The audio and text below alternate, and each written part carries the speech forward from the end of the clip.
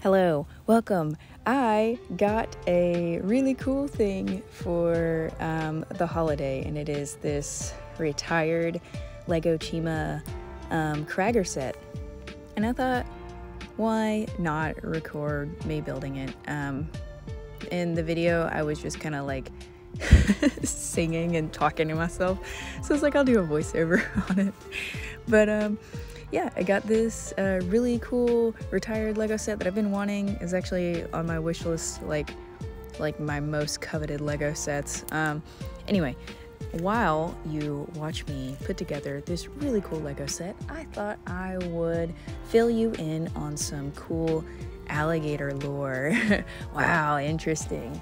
Watch a Lego video and learn something about alligators. My first gator fact is alligators are my favorite animal. Okay, now that we got that out of the way, one of my favorite things about alligators is that they cannot regulate their body temperature. So when you see them in the water, um, they need to be cool. If you see them basking in the sunlight on the land, they got a little too cold. And they just all day long pretty much go back and forth between being in the water and being on land to regulate a comfortable body temperature. And I just think that is really cute and I love it.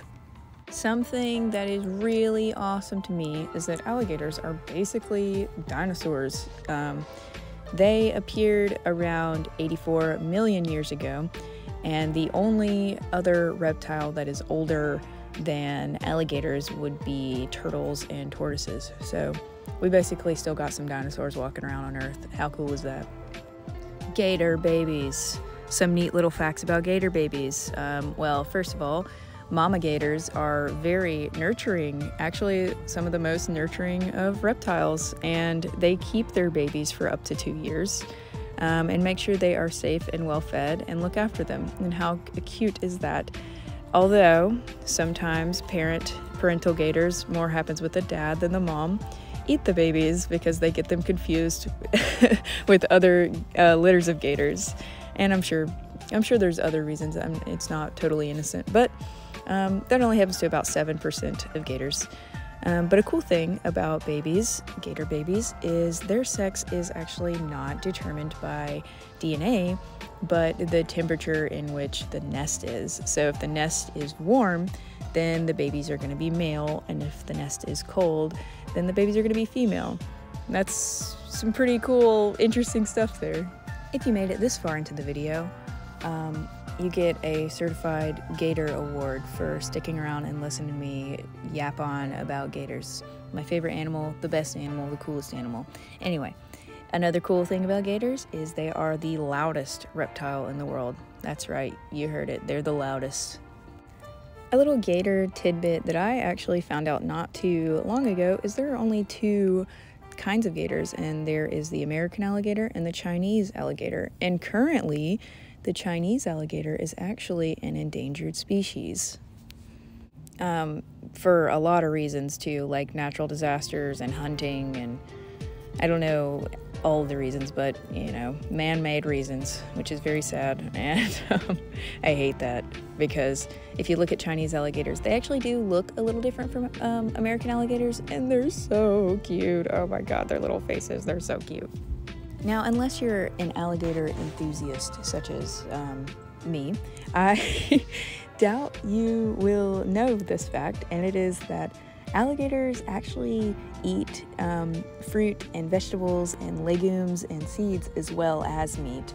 Um, for the longest time, scientists thought that those things were appearing in their poop because of the animals they were eating that had eaten them. But it was um, discovered actually in more recent times that they they will resort to eating um, fruit and veg and stuff like that. Interesting. Vegan alligators. Gator boy confirmed. Okay, I'm just kidding. There's not a single vegan alligator. Um, though they do eat fruit and vegetable, they cannot survive without meat. They need meat. Teeth. Gator teeth. Um, they lose I think it was about like an estimated amount of around 2,000 teeth in their lifetime. Wow, that's a lot of chompers. Now I'm going to tell you about one of the coolest experiences I ever had, and it was visiting a gator um, sanctuary in St. Augustine. They had so many different alligators. It was such a beautiful place. I was almost in tears. It was one of the most happiest moments of my life because I love alligators so much. They had albino alligators, which are, you know, they're white and they're really cool. They had full grown ones and they had baby ones. And I cut myself off real quick. I got a Lego piece stuck and I had to pull it off with a knife because I was too lazy to get up and get a brick separator and then I dropped it on the floor. I did find it, but it was such a pain. I was like, this nonsense right here. Um, anyway, St. Augustine, alligators. Uh, they had a little like dock where you could feed the alligators and you could buy gator food. And I, um, I bought gator food and I was throwing it to them, and they were all swimming up and like jumping up for it like little puppy dogs. It was one of my favorite moments in my lifetime thus far. It was amazing, and I was just so happy. I also that same day got to hold an alligator because you could pay $30 to have a picture taken with an alligator. And it, of course, it's like a baby alligator, but I was like, I don't care about the picture. I just want to hold the gator and I'll pay $30. I did get a picture, but I paid $30 to hold a little baby alligator. And it was well spent. I love it. And when they took the gator away from me, I was like, wait, wait, wait, can I hold its little hand? And I held his little gator hand before they took him away. When they took him away, I was like reaching for him, like, no. it was so great. Happiest I have been in a long time. So, if you happen to live in Florida or be near Florida and want to see some really cool alligators, um, the one I went to was in St. Augustine. I don't remember what it was called, but I'm sure there's probably not another one in St. Augustine, but I am guessing that there are tons of like gator sanctuaries in Florida, so you could probably find one. Um, but yeah, it was a really great experience. I loved it so much, and if you're a big fan of like gators or even just reptiles in general, highly recommend it. High, highly recommend it for like kiddos too. Kids freaking love big animals. Um, but yeah, I am getting close to being done with this uh, Cragger build, and the details on this set are just, God, they're cute. Man, they're cute. There's a little chest plate, and it has like the chi um, glowing on the chest plate. Love it.